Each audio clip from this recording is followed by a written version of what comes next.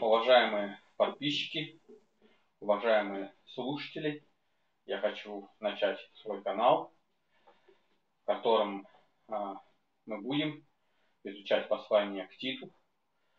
И канал будет выглядеть в виде а, пятиминутных проповедей. А, каждый раз я буду говорить проповедь на один из текстов из послания к Титу. И сама проповедь будет длиться в течение пяти минут. А, в самой проповеди я буду использовать современный перевод РБО, а, потому что, как мне кажется, он наиболее близок к оригиналу, к оригинальному тексту, за что я благодарен переводчику и самому Российскому библейскому обществу.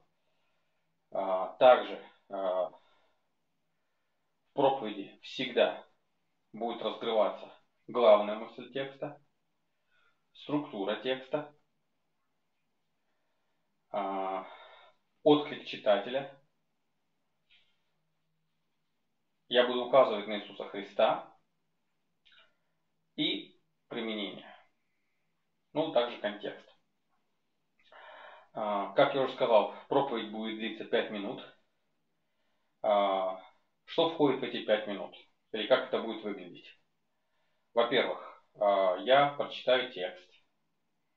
Я помолюсь. И вот после того, когда совершена была молитва, будет начат отсчет времени, таймер, я включу таймер и начну а, проповедовать. И вот сама проповедь, а, которая не включает в себя чтение текста и молитву, вот сама вот а, и разъяснение текста, как раз вот они и будут длиться в течение 5, 5 минут. Итак, приступим к прочтению текста. Первый текст, на который я буду проповедовать сегодня, это послание к Титу, первая глава, с 1 по 4 стихи. Давайте мы прочитаем. А, давайте мы прочитаем сначала этот текст в синодальном переводе, а потом уже непосредственно в переводе РБО, а, с которого я и буду проповедовать. Павел, раб Божий, апостол Иисуса Христа, по вере избранных Божьих и по знанию истины, относящейся к благочестию, в надежде вечной жизни, которую обещал неизменный в Слове Бог прежде вековых времен, а в свое время явил свое Слово в проповеди, вверенной мне по повелению Спасителя нашего и Бога, Титу, истинному Сыну, по общей вере, благодать, милость и мир от Бога Отца и Господа Иисуса Христа, Спасителя нашего. Ну и теперь э, прочитаю этот же самый текст в переводе Российского библейского общества. Э, по этому тексту и построена пятиминутная проповедь. От Павла, служителя Бога и апостола Иисуса Христа, Титу, истинному моему сыну по общей вере.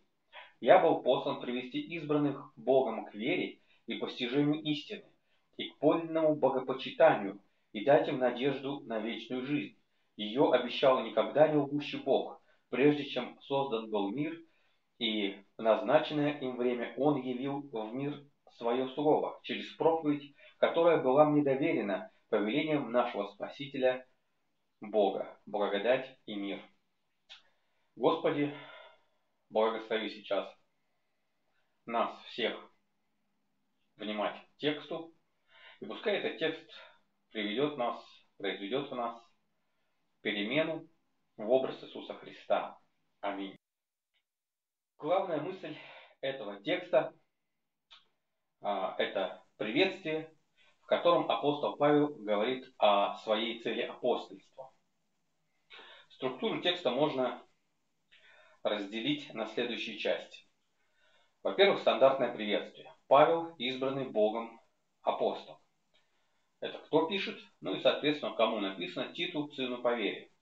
А дальше апостол Павел начинает говорить о цели своего служения.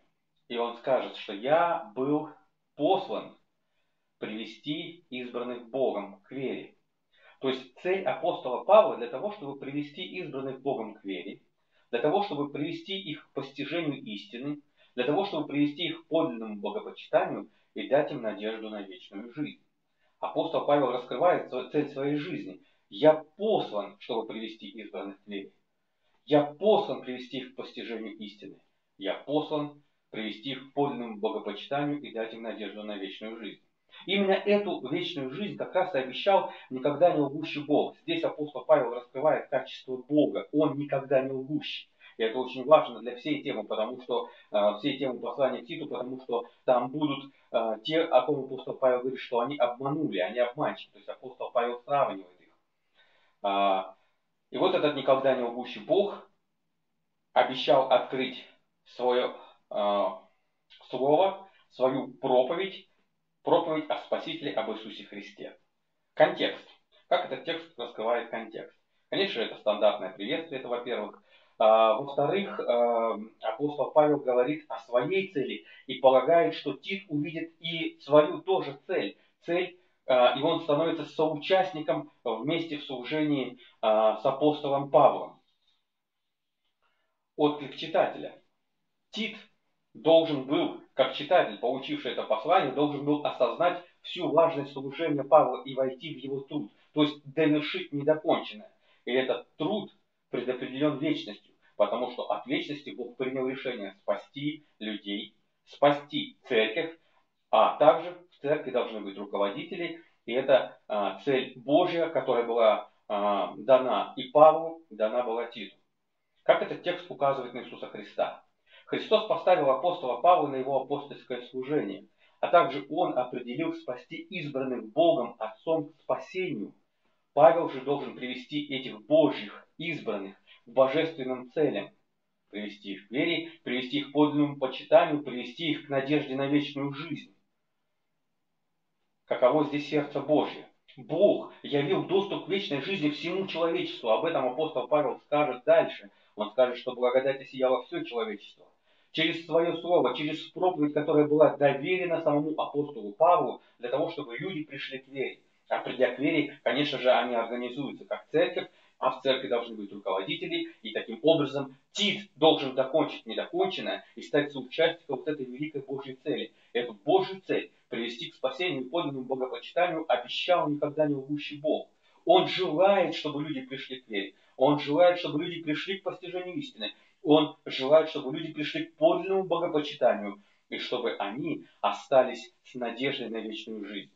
Таким образом, а, мои уважаемые братья и сестры, а, каково же применение этого текста к нашей современной жизни?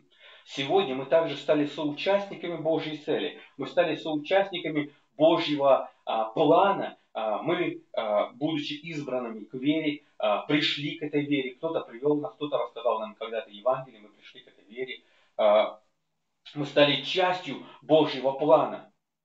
И вот теперь в церкви должны быть люди, которые нас будут вести к этому подлинному богопочитанию. Это служители церкви, это пасторы и проповедники, об этом апостол Павел также скажет, а, когда мы будем касаться характеристик руководителя церкви. Так вот, мы, придя к этому постижению, мы должны а, постигать все больше и больше эту Божью истину. А, мы должны стремиться к тому, чтобы а, становиться ближе к Богу, для того, чтобы, уходя из церкви, вот, в жизнь, да, я в жизнь, мы шли вот с этой надеждой на жизнь вечную. В то же время и обращение к пасторам. Цель пасторского служения как раз и заключается в том, чтобы приводить верующих к подлинному богопочитанию, к тому, чтобы они обращались к Богу, чтобы верующие обращались к Богу. И чтобы, уходя с собрания, верующие люди уходили с этой надеждой на вечную жизнь. Не с тем, что их обличили, что они плохие христиане, не с тем, что их обличили о том, что они что-то не доделали в своей жизни, не досветили, не досвещались, а они должны уйти с подлинным богопочитанием и с надеждой на вечную жизнь. Помолимся. Господи, благослови нас, любить Тебя еще больше, всегда иметь надежду на вечную жизнь, благословлять Тебя во имя Иисуса Христа. Аминь.